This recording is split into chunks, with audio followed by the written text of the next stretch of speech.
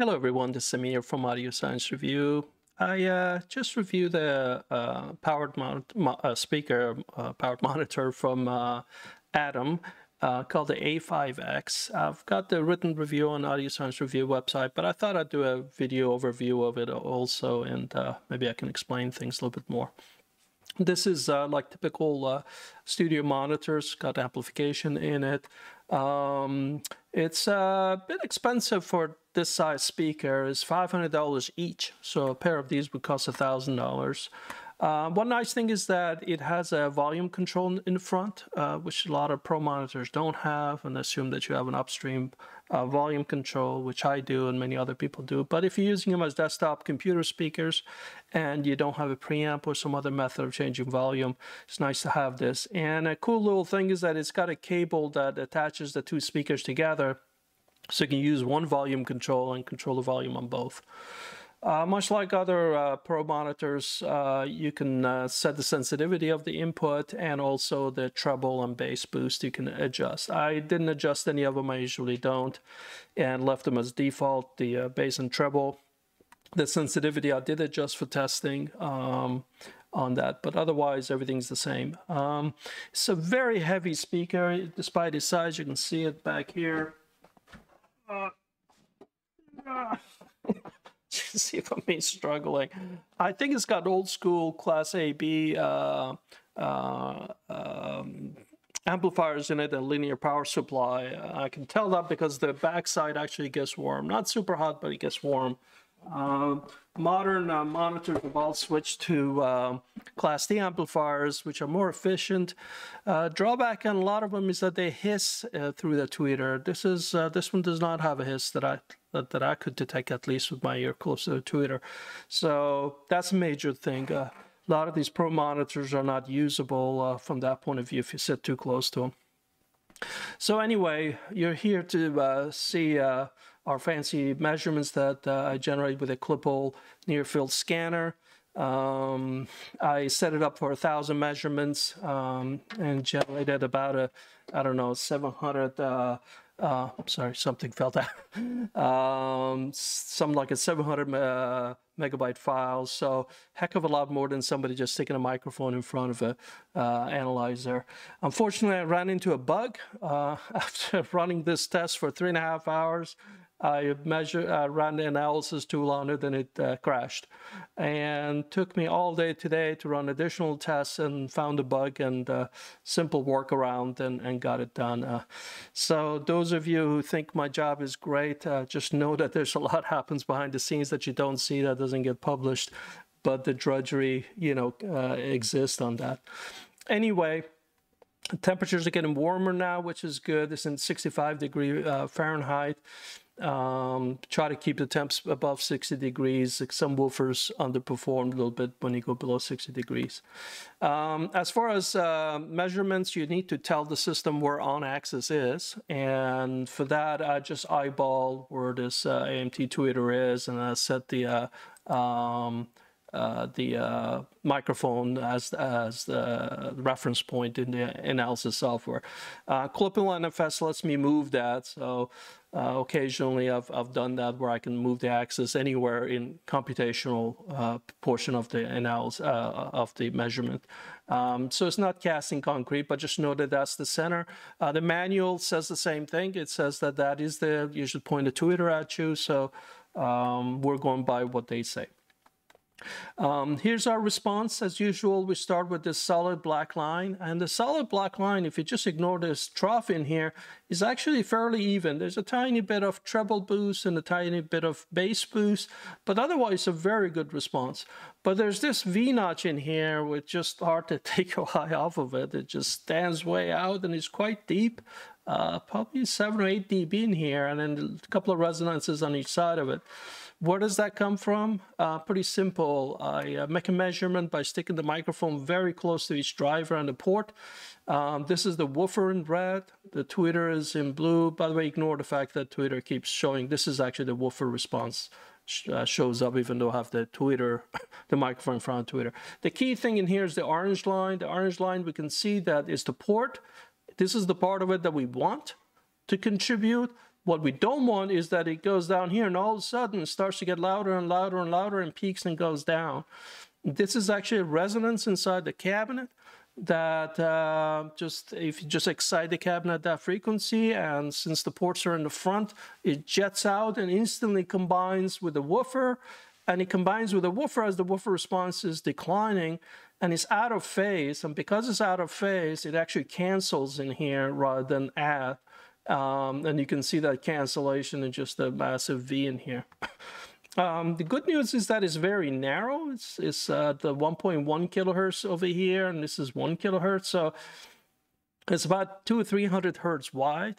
And you really got to get unlucky with some musical note to hit this. And as I've explained in my last video with uh, our uh, hearing bandwidth, uh, we don't have a bandwidth this sharp in here, so likely your, your ear's averaging part of these peaks and this trough, you're not hearing exactly this trough. So the graph looks worse than it is. um, it's a problem with these ports in the front. I often see this issue. I guess they put the port in the front so that you can stick the speaker close to a wall. Uh, I don't know why it'd be an issue to have the speaker close to a wall with the port in the back, but people have thought that, oh gosh, I can't do that, and I gotta have three feet behind my speaker. So it forces manufacturers to stick the port in the front and it exaggerates this problem. Um, this is on top of not mitigating it. There are other ways to mitigate it. But this port resonance thing seems to be with us in, in many places. Um, here's a waterfall chart that basically shows your frequency response and time. And uh, I don't think I've ever seen resonance stand out so clearly in here. We see our troughs in here, and then we see this thing just goes on like a bell that's ringing. And uh, so, uh, you know, we have multiple proofs. We have three different uh, measurements, all point to the same thing and support each other. Early reflections, which is the floor and ceiling and, and uh, back wall, um, they're very similar to the on-axis for good or bad. For good that we want it to be similar, which means the reflections won't sound different than the direct sound bad is that, that we have the V in here and we have a little bit of directivity error in here where there's a little bit of a dip in here. So uh, in general, if you can avoid floor bounce or if you have it on a desk, desk bounce, it does you some good, but really is not a major cause of concern. If you had the speaker in far field, meaning stereo listening, not on your desk, we can model what that response could typically look like. And when we do that, lo and behold, what we already know shows up again, which is we have this trough in here, and this is the frequency response. And by the way, above 10 kilohertz, it droops down because the uh, tweeter gets very directional. As far as distortion at 86 dB at one meter is actually exceptionally good. Um, I have this 50 uh, decibel um, reference line and is well below that even in bass, which is impressive. Um, now there's a trick up his sleeve, You know, the reason this is so good is because the frequency response dropping very quickly. So this speaker doesn't try to reproduce low ba uh, deep bass, and as a result, it doesn't have distortion shooting way up here.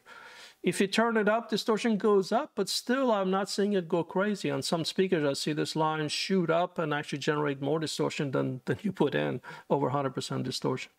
And you can see the same thing as a ratio. This is absolute amount, this is the ratio uh, we can see that these things start to uh, you know become uncomfortable. Anything less than 0.5 uh, percentage in here is extremely good. So you know this is a little bit above that, but still very good. Uh, if we look at the beam width, which means that if we take a constant amplitude and uh, and we plot what that looks like, where you get 6 dB drop off around the speaker, we see that it's very well controlled between about 900 hertz and about 8 or 9 kilohertz. After that, the tweeter starts to beam. This beam gets narrow, which means that if you don't have this uh, speakers pointed at you and you move to the left and right, you're going to see a, hear a drop off in extreme highs. How good your hearing is up there, it's only you know. But uh, for to hear the best sound, you really need to have this pointed at your at your ear, which means you get it over here. You get this response you still have 20, 30 degrees you can go and still not lose much, but above that you will. uh, same plot if we plotted with the fancy uh, color mapping, we see it over here.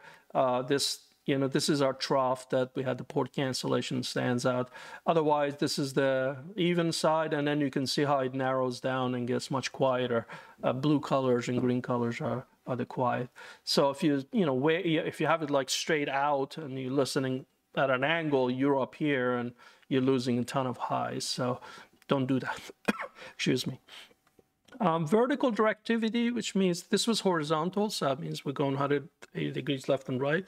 Um, this one is going up and down, and up and down actually fairly good. Usually we have these two eyes in here, and many times they're very close to our reference uh, tweeter uh, line, uh, which means that you got to really have the speaker pointing directly at, at, your ears. Here you can go 20 degrees above, 20 degrees below. So for my testing, I had it pointed at my ear, but if you put them flat and you're a little bit above them, a little bit below them, still should be fine. I uh, powered them up on my desk for all these powered monitors. I do near field listening tests. Uh, basically, where I'm sitting right now, you can't see it, but on my right here, I have a spot where I put the speaker and the sound was just fine. I mean, it just was low distortion, clean, and it played as loud as I could tolerate, and I turned things up.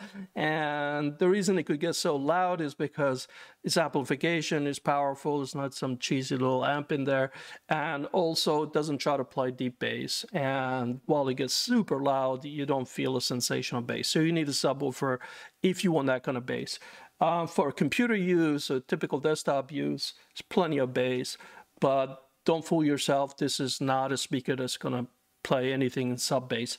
I have a large library of those tracks. When I play them, it was as if they were not there, the sub bass. I mean, it was just very, very faint sounds. So uh, what does it add up to? We just have one flaw there in that directivity. And by the way, it was so minor that I did not try to EQ it even. It is so narrow I'm not sure it needs EQ anyway. As I said, this little bit of peaking on each end. I didn't feel that it needed any equalization. So out of box is fine.